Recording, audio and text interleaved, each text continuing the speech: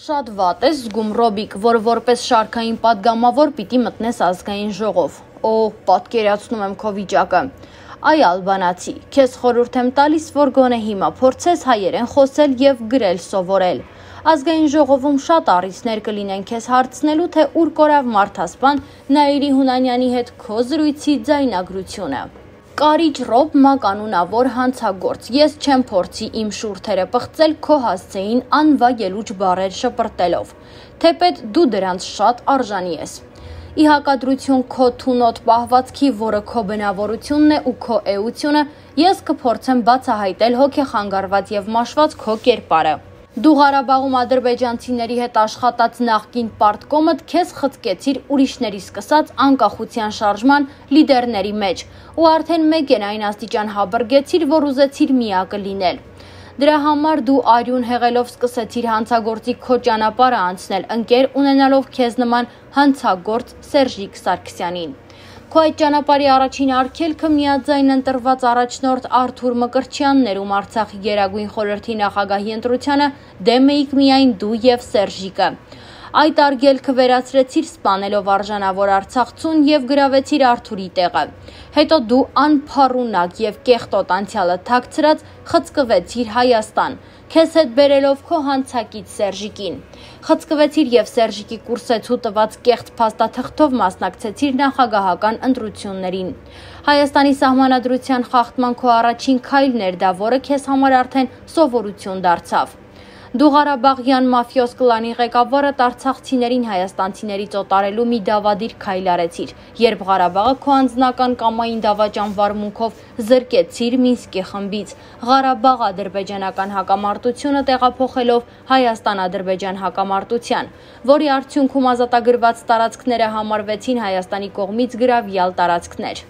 Երկրորդ նմանատիպ դավաճանական քայլը տարեցիր, երբ 44 օրյա պատերազմի առաջին շաբաթում գնացիր Արցախ։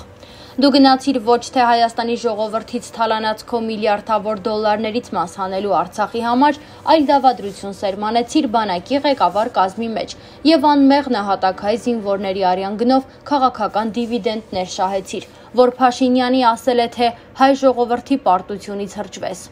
տականք։ Հետագայում ընտրությունների նախաշեմին դուք այդ փախաղաթուղթը կարկախոս դարձրեցիր։ Փաշինյանը տարածքները զիջել, ես գալիս եմ դրանք հետ բերելու։ Այդպես դու որեն գլխից փչացած էիր հիմնովին փչացար ու սկսեցիր փչացնել նաև ուրիշներին։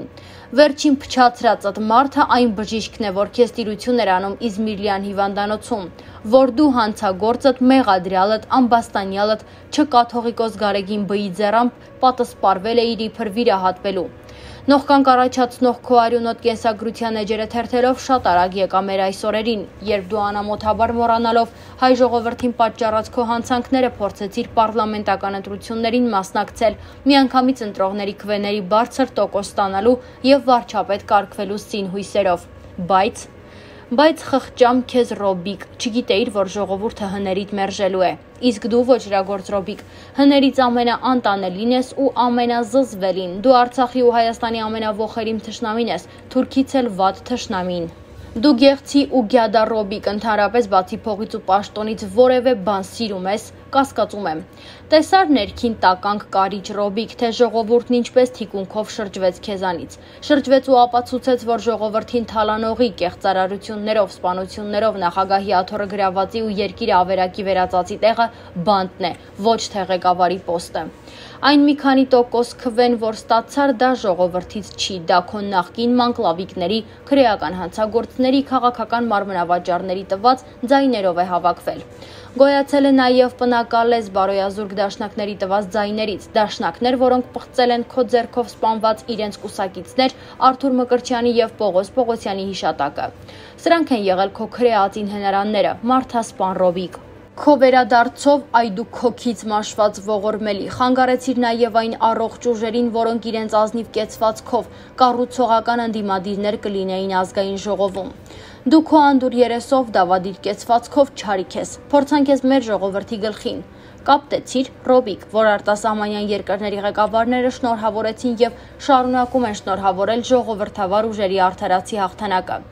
Նրանց դիտողություն անել չես կարող, բայց Արցախում դավաճան քո համախոհներին կարողացար հրահրել, որ պահանջեն օրինական ընտրված նախագահի հրաժարականը։ Դա Արցախցուն հայաստանցու հետ ճշնամացնելու քո հերթական դավաճանական քայլն էր։ Այսինչ աստիճանի նենգ ես դու անհայրենիք Ռոբիկ, ամոթ քեզ, դեր Արցախցի ես քեզ համարում։ Թունավոր շոշափուկները տարածել ես Արցախով մեկ, դու Ղարաբաղում ապրած լինելով այդպես էլ չճանաչեցիր Արցախ աշխարհը։ Ինչպես Հայաստանում ես օտար, դու այդ երկրում էլ օտարացար այն աստիճան, որ անգամ հորդ գերեզմանի տեղն ես մոռացել։ Եթե մի անգամ գոնե այցելած լինեիր հորդ Շիրիմի, խոնարհվեիր ու խնկարկեիր, գուցե թե միջիդ մաղձը, միջիդ չարությունն ինչ որ չափով դուրս գար։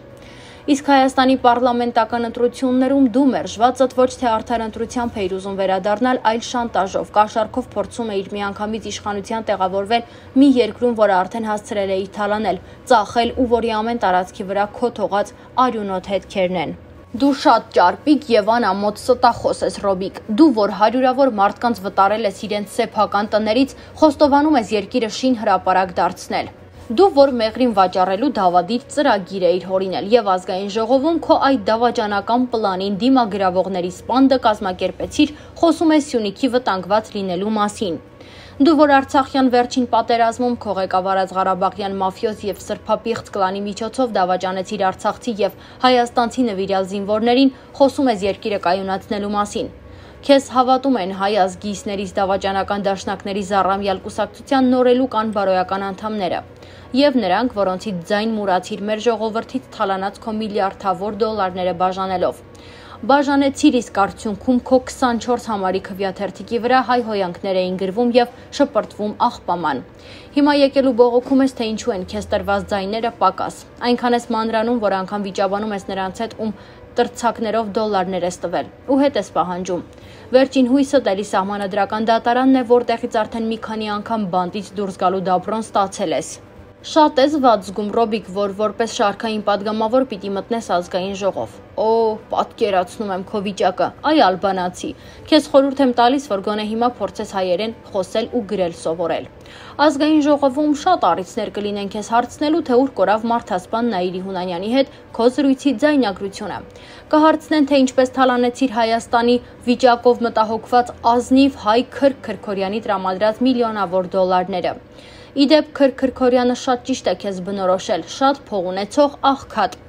Ազգային ժողովում շարքային падգամավոր Ռոբիկ քեզ տրվող էլի շատ ու շատ հարցեր կլինեն։ Չնայած քո երեսը գոմեշի կաշվից է տակից դուրս կգաս, բազում ստեր կհորինես մեռանց մարդկանց էլ կվկայես։ Դա քո կարիճի բնույթն է, դա քո կեղտոտ էությունն է։ Իդեպ Ռոբիկ քո տղաները երբևէ քեզ չեն հարցրել, թե պապա, այս մարդիկ ինչքու են այսքան շատ քեզ ատում։ Չէ հա, չեն հարցրել։ Չեն հարցրել նաև թե պապ, այս 16 միլիոն դոլարը ով է իմ հաշվին փոխանցել։ Այս հարցը չտվող քո այդ մի տղան այս օրերին Երևանի համայնքների քո նախկին շտաբականներին է այցելում, սպառնում է թե հետ տվեք մեր փողերը։ Ամոթ է ռոբ, ամբողջ հայությունն այդ մասին է խոսում։ Գրառումը կատարել էր Ալիս Սողոմոնյանը իր Facebook-յան էջում։